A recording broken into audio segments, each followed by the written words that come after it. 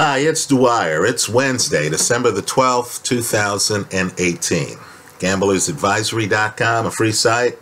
BettingAngle.us, a free site. Let's talk about what I consider to be a betting opportunity. But first, remember, the opinion you should follow should be your own. Just consider this video to be a second opinion from a complete stranger online. Now, it's been rough sledding. I just want to be as upfront as I could be. It's been rough sledding of late. I had the favorite. I had Golovkin over Canelo in the rematch. And uh, Canelo officially beat him. Right? Just recently, I had Jose Pedraza plus 650 underdog over Lomachenko, hedged with the over right? That video's still up. Now, the over delivered. Pedraza did snap Lomachenko's eight fight stoppage or quit streak, right? He did. But when you hit on a hedge like that, you're really just getting your money back, right? You're not getting the big plus 650 odds. I had 16 to 1 long shot. Joe Hanks over Joe Joyce right? And Hanks got blown out in the first round. I had plus 140 underdog, Tyson Fury, over Deontay Wilder, hedged with Wilder by stoppage. Right? Let's just say Fury gets off the canvas in the 12th round. That fight makes it to a decision. I did not win either half of the hedge. So, buyer beware. Right? We're taking risks here. I'm not playing it safe. Right? I'm I'm not here trying to take sure things. I'm actually here trying to make a profit. Right? When something like the Wilder finish happens, right? The uh, Fury Wilder situation. Gamblers like me lose. Now, Saul Alvarez is a very popular fighter who has had his share of close decisions. Right? What I want you to do is to compare and contrast the CompuBox numbers with the scoring in his victory over Austin Trout. Right? What I want you to do is to revisit his first fight against Golovkin with the scorecard of that fight. Right? Revisit the second fight too. Let's just say Canelo has received the benefit of the doubt. Now, he just signed a multi million dollar deal with DAZN. There's big money behind him perhaps more than $300 million behind him. He's with Michael Buffer right now on a series of commercials here in the United States publicizing DAZN. An argument can be made that Saul Alvarez is the premier ambassador right now among elite fighters for the sport of boxing. Right? You need to be aware of his commercial significance. If you're someone who believes that judges think about the financial future of the sport, think about who's well connected and who's not, you need to consider Saul Alvarez's box office appeal. Understand, Saul Alvarez is a guy who routinely draws more pay per view viewers than the recent heavyweight title fight between the WBC champion and the lineal champion. But let me say this we're gamblers here. Right? I'm not here trying to make friends, I'm actually here trying to make money. The line on this fight is simply preposterous. I get the champ in a division where Canelo has never fought. A division that's eight pounds heavier than Canelo's last fight, which, let's face it, and I'm being charitable here, was a photo finish. Now I get him against a puncher. That's who Rocky Fielding is. I know Fielding doesn't seem to have a high KO percentage. But understand, guys like Christopher Rebrasse went the distance with George Groves. Right? Fielding fights guys who are hard to stop. I'm just telling you, he's a guy capable of, in fact, he has, stopped a reigning super middleweight champion, Tyrone Zeuge, in Zeuge's backyard. He's a hooker. Now, whatever you think about Rocky Fielding, just think about what you would be thinking if you were Rocky Fielding. Some guy at 160 pounds, some middleweight,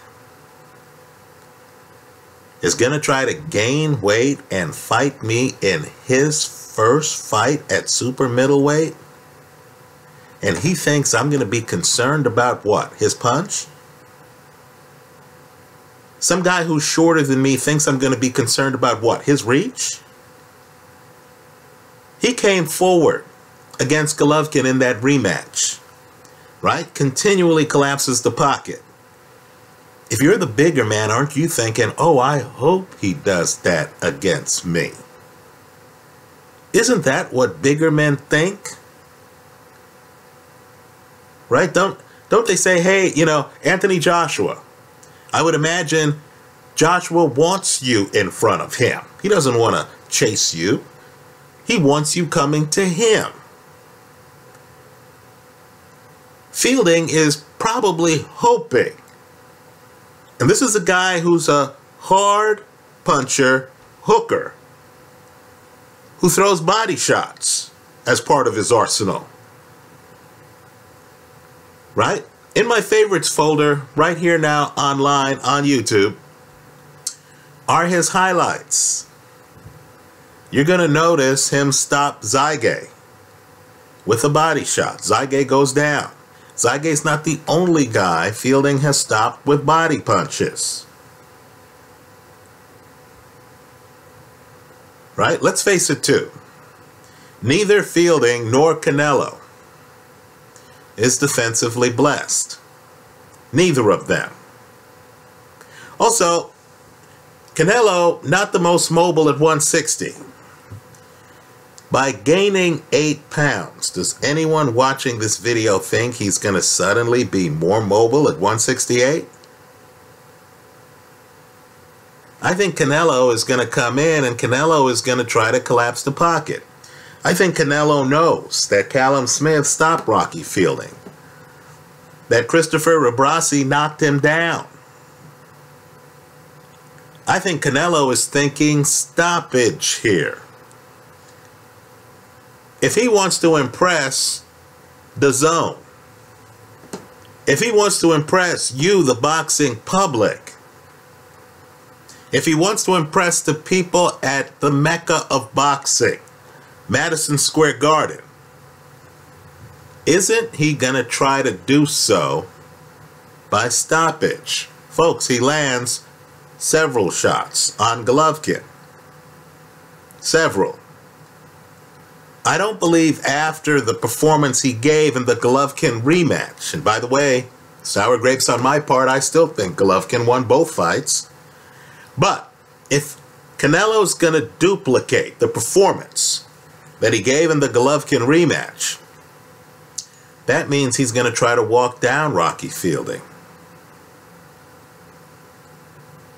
The bet I like here, because the odds always matter to me, is Fielding at 7 to 1 to win the fight. I'm getting a plus 700 on a champion who's only lost to Callum Smith? When the opponent has never fought at super middleweight? Right, understand too, Fielding's the older guy here. Fielding's not some young 21 year old who just got a title who's going to show up in New York City and be overwhelmed. He's not 21, folks. He's 31.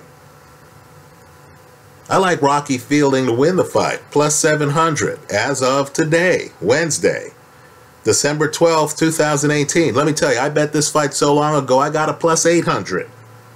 I like the plus 700 too. But I'm going to hedge the play here with the under.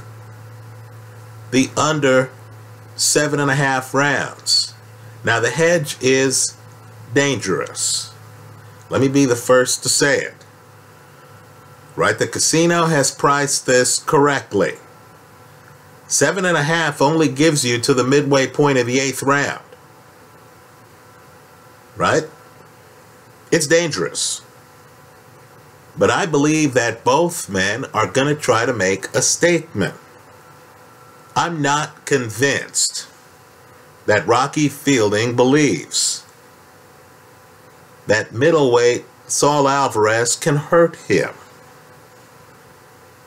Right? I think this is going to be a big man thinking, hey, this little guy can't hurt me. And here he is in the pocket. I'm going to throw some punches. Fielding has stopped guys in the first round. He wins the title by stoppage. I also believe that Canelo is riding high right now. He's gotten a draw against Golovkin. He's beaten Golovkin in the rematch. All these people, all these folks hating online like me, talking about tainted meat and stuff like that, haven't given him his just due. He's run roughshod through the super welterweight division, the middleweight division. Now he wants to make a statement at super middle. Who's going to stop him? I don't believe this guy who's smaller than Fielding, who's tall, is planning on outboxing Fielding. He doesn't want to leave it in the hands of the judges. I think he feels that if he collapses the pocket like he did in the rematch against Golovkin, he's going to get the stoppage. I'm sure he's researched Fielding. He's looked at that Callum Smith fight, which ended very early. And he's thinking, look, I can hit like Callum Smith. Fielding's going to give away his height, right? Fielding's not a guy who uses length. He's going to give away his height. He's going to have his chin there. I'm going to find it. I'm going to send everyone home early. So, one way or the other, I'm expecting a stoppage.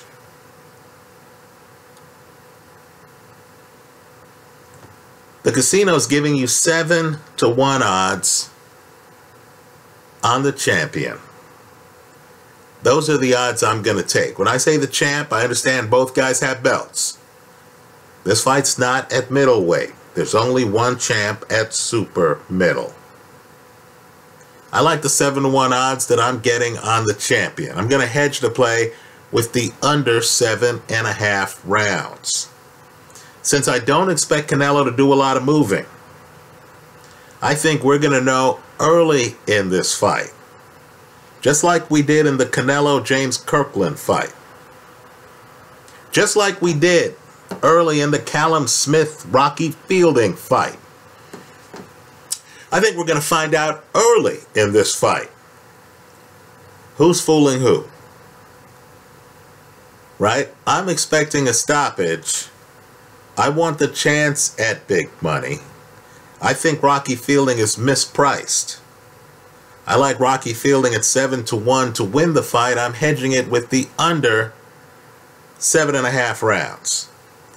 But understand the risk involved. Right? Fielding has gone the distance in some fights.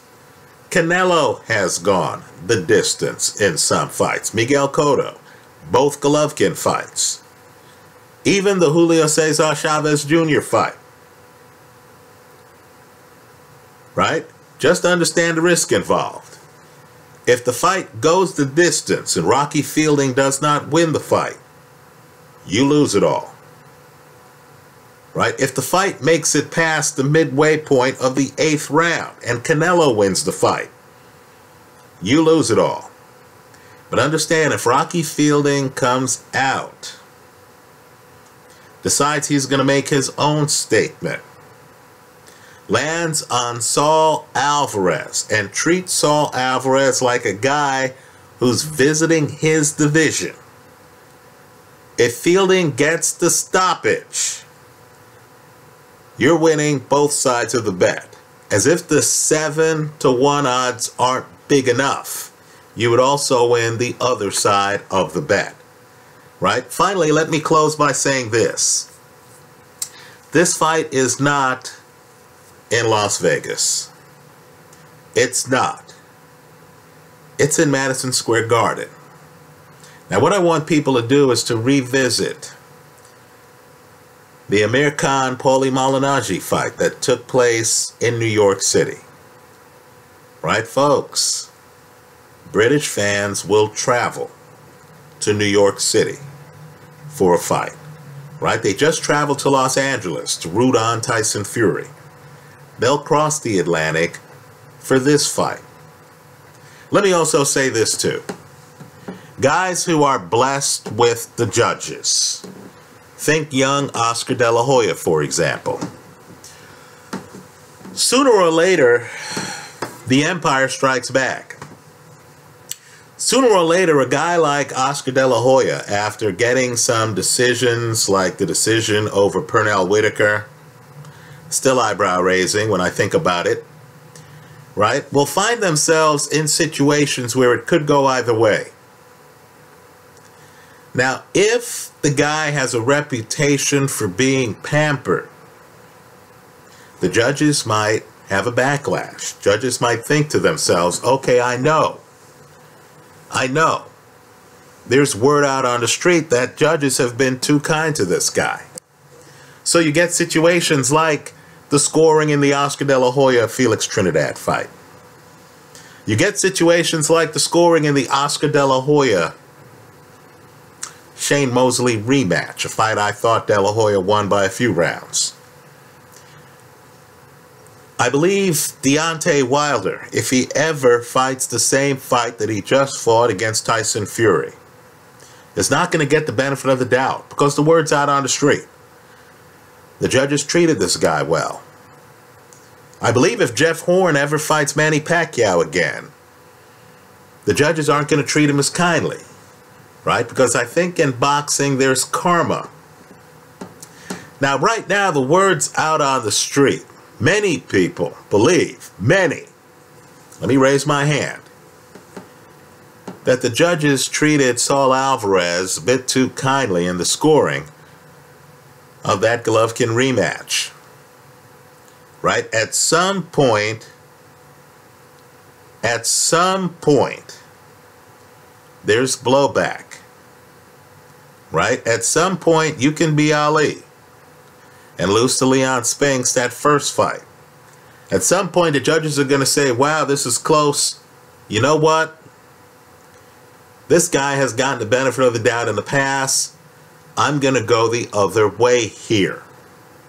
You're going to have a lot of Brits in the crowd. You're going to have Canelo in against a bigger guy who's a puncher who can punch down. Right Fielding isn't just a headhunter, folks. He's a body hunter. He's going to find Canelo. If this is a spirited fight, given that Fielding is the champ, and normally in boxing we say ties, you keep your title, right? Deontay Wilder is still the WBC champion at heavyweight. Right? Given that Fielding's the champion, given that you're going to have a lot of Englishmen in Madison Square Garden, right? A lot of us will use any excuse to get to Manhattan, won't we? You're going to have a crowd that's not going to be as pro Canelo as you think. And even the folks who are pro Canelo, many of them privately feel, hey, we got to break against Golovkin. Right? Don't be surprised if this fight goes the distance, if Rocky Fielding gets the decision. Anyway, when you see 7 to 1 odds, against the reigning champion in favor of a guy who has never fought in that division, folks, in my opinion, that bet makes itself. So, with due warning that I've taken some underdogs who have lost, right? Pedraza plus 650. You got the over, you got the hedge. Pedraza delivered on that, right? Joe Hanks plus 1600. No hedge, just a loss. Right? Given that I've taken some underdogs and the bets haven't paid off. Tyson Fury plus 140 right? They called it a draw. Right? Just understand. This is high risk. I'm taking the underdog here again. Rocky Fielding plus 700. I'm hedging it with the under. Seven and a half rounds. Right? If Fielding wins a decision, if Fielding wins period, you're good. If Canelo wins by knockout in the first seven and a half rounds, you're good. Understand you're not good if Canelo wins after the midway point of the eighth round. You lose it all. That's how I see it. Let me hear from you. I look forward to your comments in the comment section of this video. Thanks for stopping by.